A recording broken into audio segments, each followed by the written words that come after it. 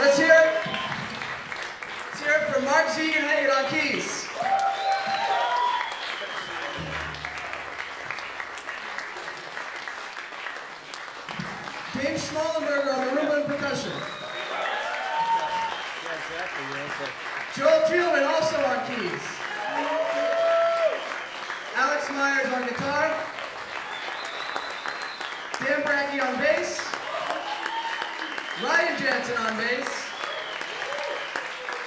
Drew Hurst on guitar.